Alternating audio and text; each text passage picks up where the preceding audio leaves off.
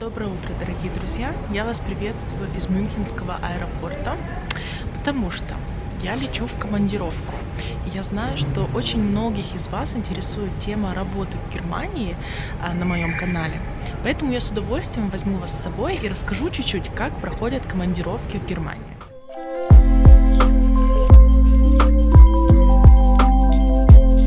Ну, самое основное это то, что работодатель перенимает на себя все ваши расходы во время вашей поездки деловой на передвижение, ночевку и такси, перелеты, все, что связано с работой. Сам отель и билеты на транспорт заказывает для вас фирма, либо же вы заказываете сами и предоставляете чеки, и фирма вам возвращает полную стоимость. Если сотрудник останавливается не в отеле, а у знакомых, например, то деньги тогда ему возвращаются только при предъявлении расписки. Максимальная сумма возврата денег в таком случае всегда определяется Министерством финансов каждый год. Зависит эта сумма также от страны или города. Но в среднем это где-то по Германии 20 евро максимально за сутки. Помимо этого, на каждый календарный день, который вы находитесь в Dienstreise, то есть это в командировке, вам выделяется Verpflegungspauschal. Эта сумма зависит непосредственно от того, сколько часов вы пребываете в командировке выплачивают такую сумму, если вы пребываете в командировке больше 8 часов. Значит, за 8 часов или за дни, когда вы либо только приезжаете, либо только отъезжаете из места, куда у вас командировка, платят 12 евро. А если ваша командировка длится 24 часа, то тогда вам выплатят 24 евро Verpflegungspauschal. Но это при условии, что вы путешествуете по Германии. Если же у вас командировка за границу, то тогда это всегда зависит от страны и города. Также ваш Verpflegungspauschal сокращается, если вы получали в отеле завтраки, либо ужины, и либо же вас кормили в самолете полноценным обедом. Тогда вот эта сумма на день, рассчитанная на, так сказать, обеспечение вашего питания, сокращается, конечно же. Вообще идея вот этого Verpflegungspauschal это конкретно про питание. То есть фирма вам выплачивает как бы компенсацию, неважно, насколько вы там сами себе покупали еду, еду, будучи в командировке, но вам а, положен вот этот паушаль. И, к сожалению, в таком случае все чеки, которые вы кушаете в ресторане там или где-то покупаете булочки, они ничего вам не дадут, потому что у вас положен ваш флегмус-паушаль. И неважно, кушаете вы дорого или дешево, сумма все равно одинаковая. Но в некоторых фирмах, как мне кажется, существует также правило, что если вы принесете все чеки за еду также, то вам фирма покроет эти расходы вместо флегмус паушаля. То есть будет именно конкретно ваши расходы покроются. В моем случае, например, у меня вот этот паушаль. Поэтому я всегда знаю, что мне вот определенная сумма вернется назад.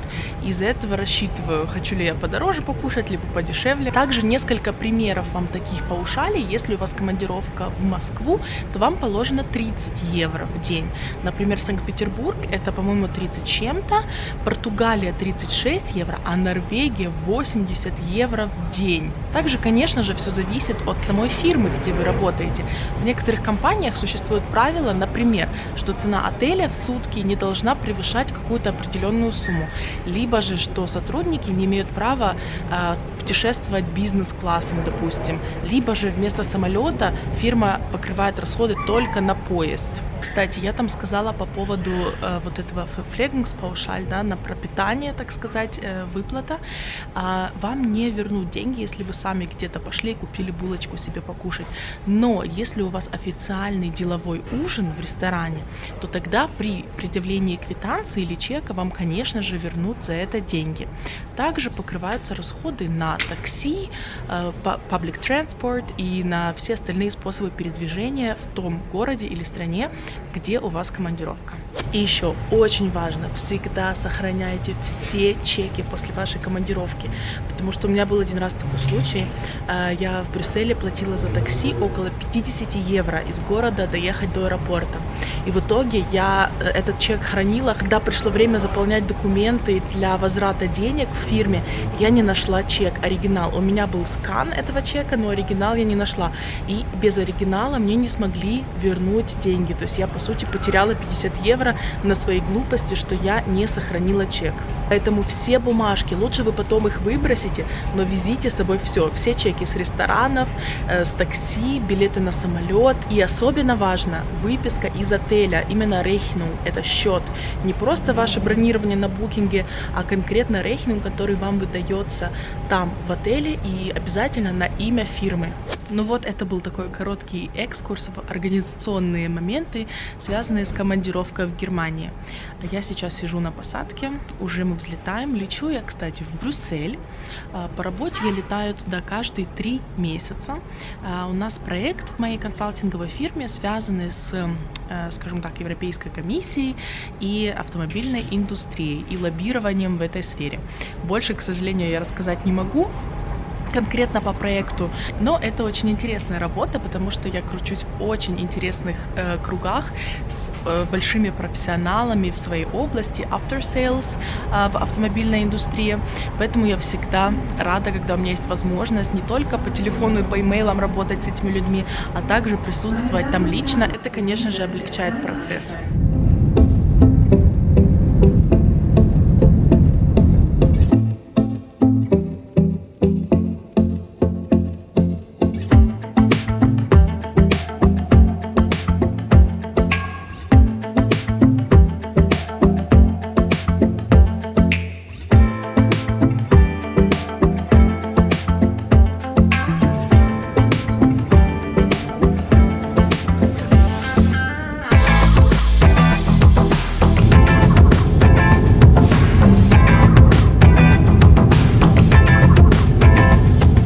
Друзья, привет еще раз.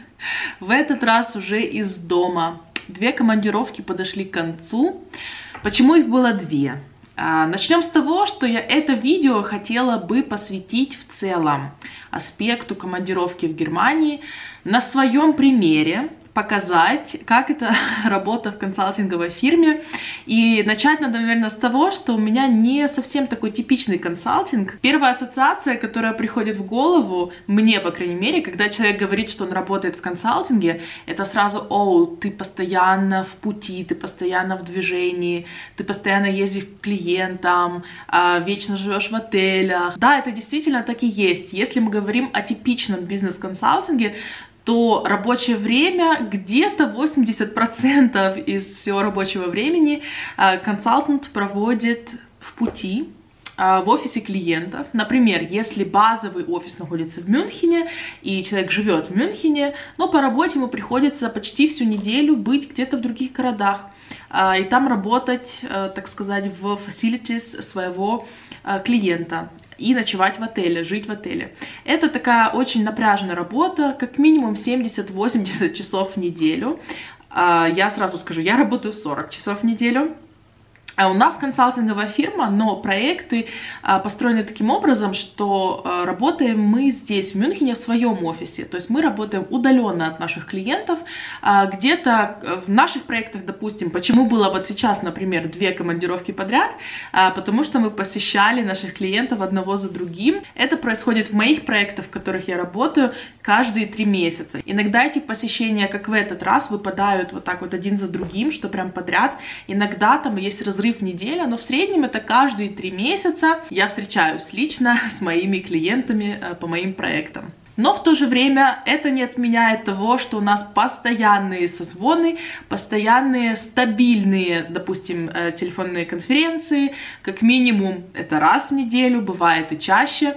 То есть постоянно идет обмен статуса работой, но личное присутствие требуется только раз в три месяца. Я могу сказать, что в этом плане мне повезло, потому что такой график, э, постоянно жить как-то в других городах, ночевать в отелях, это, наверное, с одной стороны прикольно, если командировки куда-то очень в далекую за границу, скажем, там, Китай, вообще в Азию куда-то, или в Латинскую Америку, э, в Северную Америку, было бы интересно.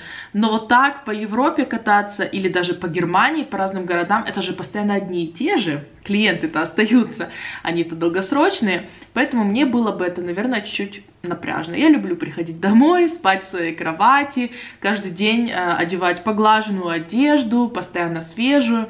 Жить на чемоданах мне было бы тяжело. Поэтому я счастлива. Вот такой это для меня отличный баланс.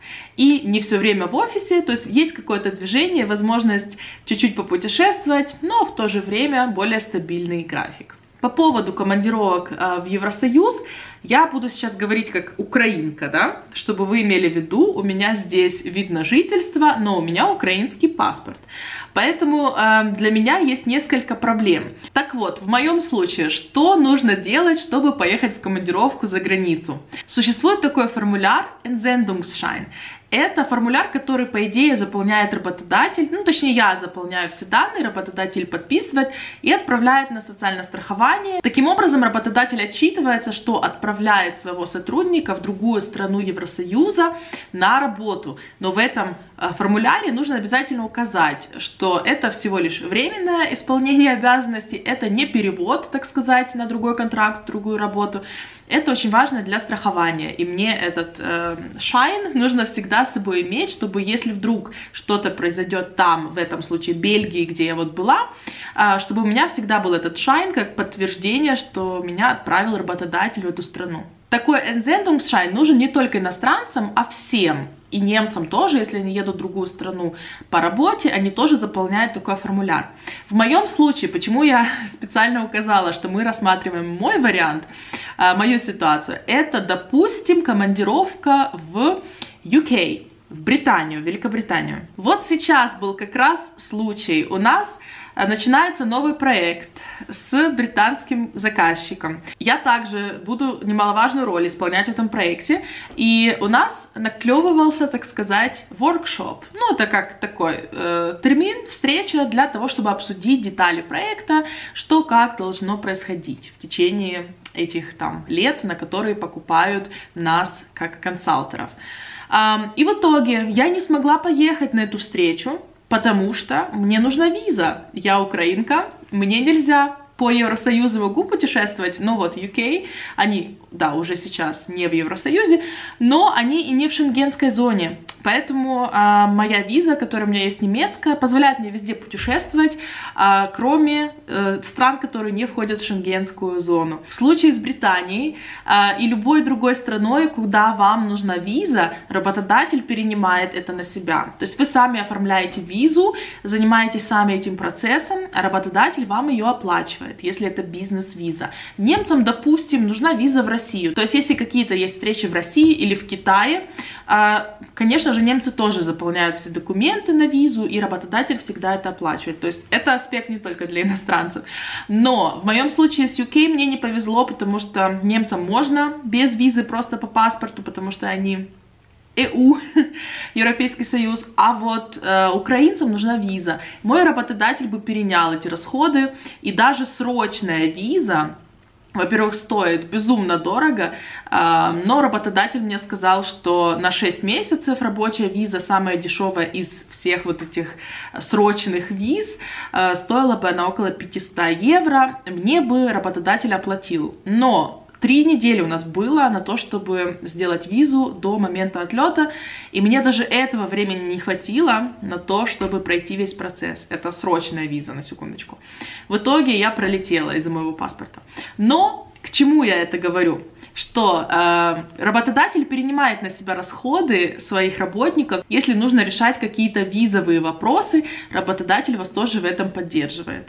Но тут нужно тоже учитывать, у каждой фирмы свой лимит. Существует бюджет, а, в котором выделяется определенная сумма на э, командировки внутри любой компании. Поэтому если этого бюджета хватает на определенное количество работников, которые нуждаются в расходах, тогда без проблем вам никто не откажет. Иногда, когда этот лимит превышен, или вот, допустим, виза, если бы была прям настолько дорогая, что ее не было бы смысла делать.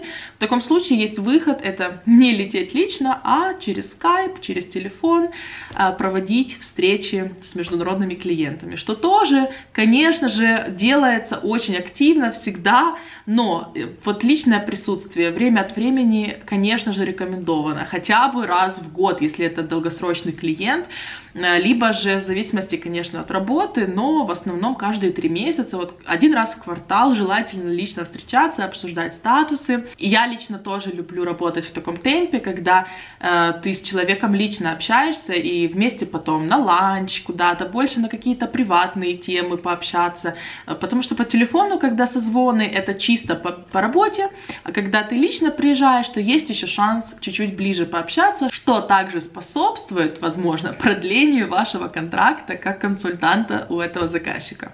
Я думаю, что все самое основное по поводу командировок я уже рассказала в этом видео.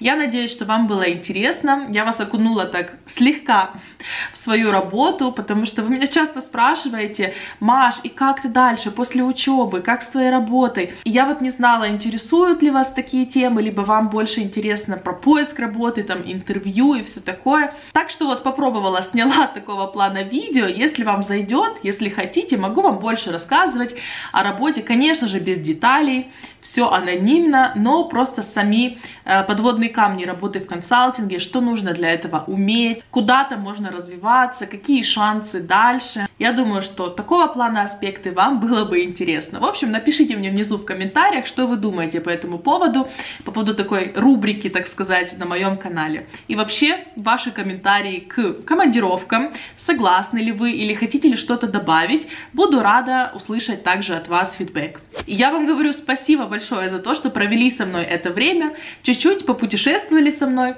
и также, надеюсь, вам было интересно. Все, жду вашего фидбэка в комментариях, и до скорых встреч в новом видео. Пока!